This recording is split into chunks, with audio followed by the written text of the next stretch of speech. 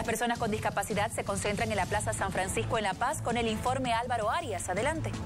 Así es, son centenares de personas que llegaron a la sede de gobierno para hacer conocer sus peticiones en persona al presidente Evo Morales. Ustedes pueden advertir el cuadro que se está viviendo acá en San Francisco. Son personas que están en el piso y hay bastantes niños que podemos advertir. Señora, buenas noches. ¿De dónde viene usted?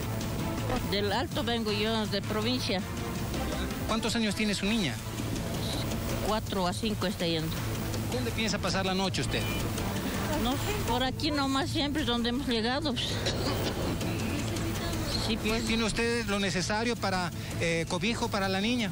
No, pues una frazada nomás es venir, no hay caso traer a tu bulto. pues. ¿Qué le pediría a la población acá en La Paz? Mm, Que nos ayude, pues unos colchoncitos, o unas, unas carpitas, quisiera que nos descolabore, pues, para pasar la noche. Bueno, muchas gracias. Esa es la situación en este momento. En San Francisco se ha dicho que, bueno, eh, se van a dividir en dos grupos eh, las personas con discapacidad. Un grupo se quedaría acá en San Francisco con las condiciones que ustedes acaban de escuchar y otro grupo que iría a la a Universidad Mayor de San Andrés, al Coliseo. Precisamente estamos con uno de los dirigentes para poder conversar acerca de esta situación. Buenas noches. Se dividen en dos grupos. ¿Esto es así? Eso es cierto, en, en dos grupos, una parte se queda acá en San Francisco y otro en la Universidad Mayor de San Andrés. ¿Cuándo se adoptan decisiones? ¿Cuándo se invita de forma oficial al diálogo al presidente Evo Morales?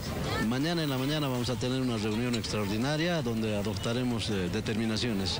Muchas gracias. El cuadro es bastante eh, llamativo porque los niños se encuentran incluso con cuadros de deshidratación, las personas están cansadas, hay, hay algunas que vienen precisamente del oriente y han sufrido desmayos. Este es el panorama que se vive acá en la sede de gobierno en plena plaza de San Francisco.